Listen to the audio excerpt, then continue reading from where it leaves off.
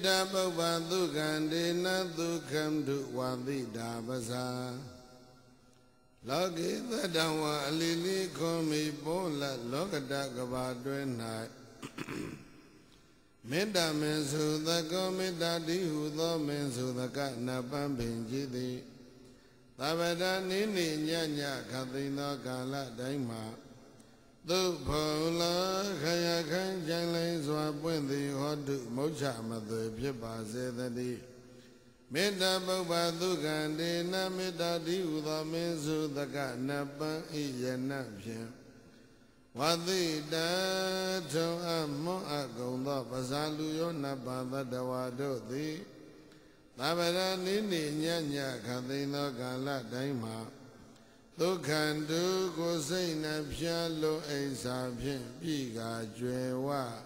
ချမ်းသာတော်မူကြပါစေကောင်းသတည်း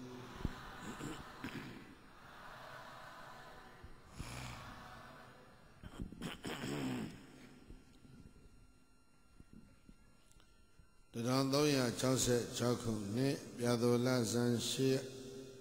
9နာရီ15မိနစ်ချိန်ကစတင်လို့မန္တလေးမြို့မြပွဲရုံလောကဖြင့်အသက်မွေးကြတဲ့ကိုမြမောင်မခင်ခင်ကျူတို့ဤမိဘများပြည့်ကြသောဥတုဘောဒေါ်စိန်ဝံဥပေတင်ဒေါ်ကြည်ညွန့်တို့အတွက်ကောင်းမှုအထူးဖြစ်စေဖို့ဆင်ရင်ကျစ်ပါတဲ့ဓမ္မသဘင်မှာ ယခုမေတ္တာအာသီသမေတ္တာပဒနာနဲ့စတင်ဖွင့်လှစ်ပါပြီဓမ္မသဘင်ပွဲသို့ရောက်ရှိလာခဲ့ကြဂုံသောတရားချစ်ခင်သူတော်စင်ပေါင်းတို့နှင့်တကွ30ဘုံအရာ10မျက်နှာအနန္တစัจ java လာ၌ရှိကြဂုံသောအနန္တသတ္တဝါတွေဘေးရခသိမ့်ကင်းငြိမ်းကြပါစေဆင်းရဲခသိမ့်ကင်းငြိမ်းကြပါစေနှလုံးစိတ်ဝမ်းအေးချမ်းကြပါစေကိုယ်စိတ်နှပါချမ်းသာခြင်းနဲ့ပြည့်စုံကြပါစေလို့ မေတ္တာဓာတ်တွေဖြန့်ဝေပြီးတော့တပတ်သဘင်ကိုစတင်ဖွင့်လိုက်ပါပြီဒီနေ့ညတကဥပြမောင်တို့ရဲ့ဓမ္မသဘင်ကထူးတဲ့အလှတစ်ခုပါလာတာကသကိုင်းသောပုညခြင်းစေရီတော်အတွေ့ရွှေထီးတော်မှာတင်လူပူဇော်ဖို့ရွှေထီတော်ရွှေသားငှက်မျက်နှာ ရွှေသားတဲ့နဝရ၉ပါးစီချေတဲ့စိန်ပူတော်ဘုရားရှင်ကိုရောမြတ်ကြီးရဲ့စေရီတော်ကြီးရဲ့ကိုလုံးတော်ပြည့်ကလူမဲ့ရွှေသင်္ကန်းအလှတော်အဲ့ဒီအလှတော်တွေအတွက်စေရီ၄ပါးအာရည်စိုးပြီးတော့အဲရွှေနှစ်ချက်သားကျပ်ငွေ၄သိန်းနှစ်သောင်းတန်ဖိုးရှိတဲ့ပစ္စည်းများဆိုပြီးတော့အလှတစ်ခုပေါ့လေစေတီကပူဇာဒီကနေ့ပါလာတယ် ပြီးတော့ဒီစေရဲမှာမရပေမဲ့စောစောကကျင်ညာလိုက်တာကြားလိုက်ရတယ်စိန်လက်စွတ်တခုတဲ့စေတီရပူဇာဖြစ်နေပါဝင်လှူဒန်းလာအဲ့တော့ဒီကနေ့ဘုန်းကြီးတို့အလုံးသောသူတော်ကောင်းတို့အတွက်စေတီတော်အားလူသားကြပူဇော်ကြတဲ့သူတော်ကောင်းတို့အတွက်ရသော်ဗျာကိုရောမြတ်ရဲ့ကိုစားပေါ့ ဟောဒီကဘာပြည်ကြီးမှာဒီကနေ့ကြံရစ်တာဟာဓမ္မစေတီဟာရှေတန်းက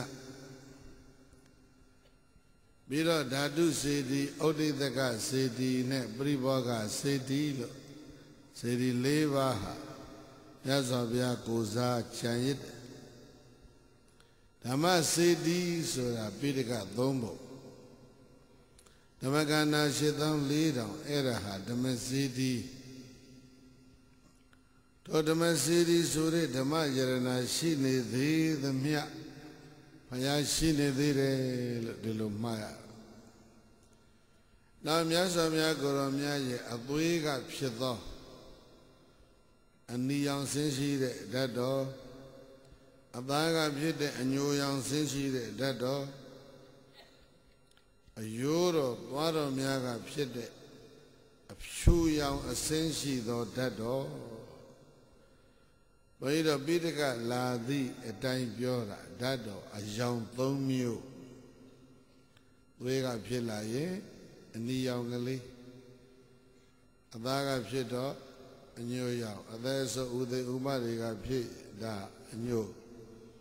အယိုးတော်နဲ့သွားတော်ကဖြစ်တာကြတော့ပြိဿကြီးအဖြူရောင်လို့ဓာတ်တော်အစင်း၃မျိုးရှိ ရသော်ပြကိုရောမြတ်ပြိဋိဘံဆံတော်မူပြီးတဲ့နောက်မှာကျွေးကြံတာတွေကိုဘုန်းကြီးတို့အဋ္ဌကတာဒီကများကစနစ်တကျဖော်ပြထို့သဖြင့်အဲ့ဒီအကြောင်းအရာတွေကမာ